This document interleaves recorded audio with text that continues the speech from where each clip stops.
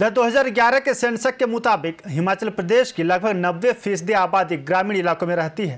हिमाचल प्रदेश परिवहन निगम की बसें गाँव में, बसी इस बड़ी आबादी की शहरों तक आवाजाही का सबसे बड़ा ज़रिया है, लेकिन एचआरटीसी कर्मचारी वेतन में अनियमितताओं को लेकर परेशान है।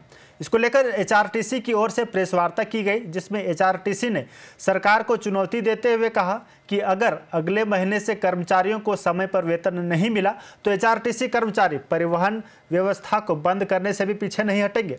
एचआरटीसी चालक यूनियन के अध्यक्ष मान सिंह ने कहा कि, कि महीने की 10 तारीख है लेकिन अभी तक एचआरटीसी कर्मचारियों को वेतन नहीं दिया गया है।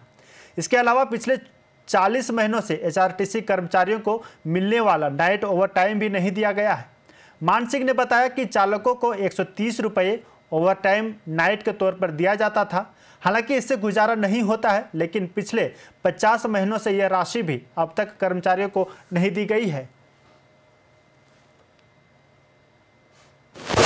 प्रेसिडेंट हिमाचल पथ परिवहन निगम ड्राइवर यूनियन आज की प्रेस वार्ता का मेन मेन मकसद है, वो है कि आज तक, आज दस तारीख को आज हमें सैलरी नहीं मिली।